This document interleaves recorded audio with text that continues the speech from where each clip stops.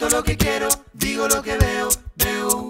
Y llegó el momento más divertido a ver las fotos que nos mandan los chicos y chicas de la República Qué Argentina. buena la bandera de Martina. Es tan grande como ella, Mirá, mirá. Tiene el enorme. mismo tamaño que ella. Justiniano. Justiniano, qué linda bandera que hizo esa sonrisa de Justiniano feliz. Ahí está Esa es Bianca de carapela de Tigre. Bianca, qué linda, hermosa.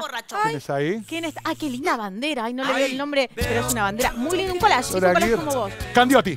Nuestro amigo Manu Can- de Candiotti Manu, Santa Fe, Manu, presente. Pero tiene asistencia perfecta, Manu. Amparo de la Plata hizo una bandera y escribió el deseo. Mira, ¿lo A- ves? abrazos y besos para toda la plata. Bauti su bandera. Qué linda Pero esa. Qué linda, toda multicolor. Con collage, Fabricio. Fabricio también nos hizo una bandera. Mirá qué lindo. Ay, me muero. Mira lo que es esa bandera hermosa con ese sol. Que parece un cangrejo, gigante. Mira, también en proceso. En proceso. Él nos va En mostrando el paso proceso, por paso de la bandera.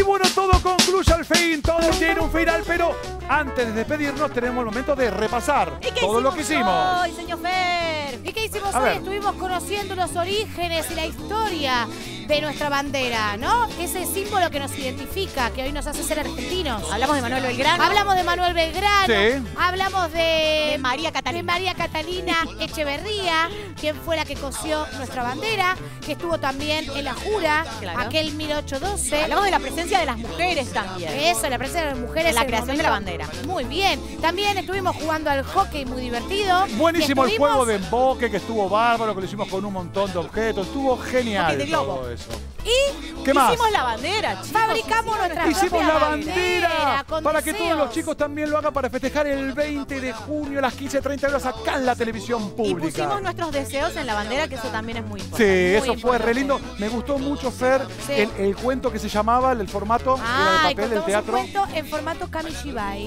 En la Eso fue caja re lindo. de las palabras difíciles también lo ponemos. ¿Qué necesitamos para clase que viene? A ver, señor. ¿Qué necesitamos? Nuestra caja de siempre. Ahí está, la con cajita. telas, crayones, marcadores, eh, papeles de colores, pegamentos, Botellitas, cinta. Tapitas. Tapitas, marcador. Bueno, todo lo que saben de la caja de la seño Fer o la seño Mechi. Y saben que no lloren, no lloren, no lloren, no lloren, no lloren, no lloren, no lloren, no lloren. Séquese las lágrimas porque mañana a las 9 volvemos. Claro, mañana. Claro. Los vamos a despertar puntuales, puntuales, puntuales. Lávense los dientes, peínense bien, sáquense el pijama porque empieza la clase de la seño Fer. Así que un beso, Paloma, para todos. Junten todas las cositas que mañana tenemos otro gran programa. Sabemos que la escuela nada la reemplaza, pero nosotros te la acercamos.